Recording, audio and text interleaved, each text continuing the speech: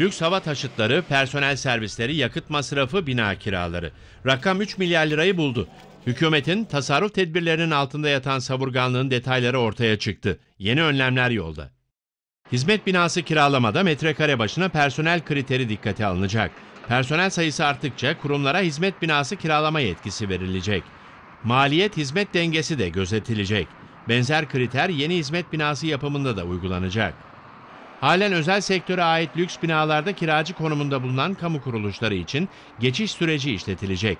O süre içinde yüksek kira bedelleri ödeyen ancak personel sayısı belirlenecek kriteri tutturamayan kamu kurumları oturdukları lüks binalardan çıkarılacak.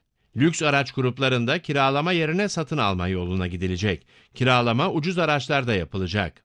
Maliye tarafından açıklanan bütçe sonuçlarına göre kamu kurumları bu yılın 11 aylık döneminde kiralık taşıtlara 413 milyon 293 bin lira para ödedi. Aynı dönemde özel sektörden kiralanan uçak ve helikopter gibi lüks hava taşıtlarına 150 milyon 472 bin lira, şirketlerden kiralanan personel servisi araçlarına da 384 milyon 451 bin lira kira ödendi. Devlet yılın ilk 11 ayında yeni taşıt alımı için 112 milyon 42 bin lira harcadı. 1 milyon liraya alınan Diyanet İşleri Başkanı Mehmet Görmez'in yeni makam aracının fiyatı da tartışma konusu olmuştu. 3 milyara yakın tüm masrafın içinde özellikle akaryakıt gideri dikkat çekiyor. 1,5 milyar Türk lirası eski parayla 1,5 katrilyon akaryakıta harcanmış.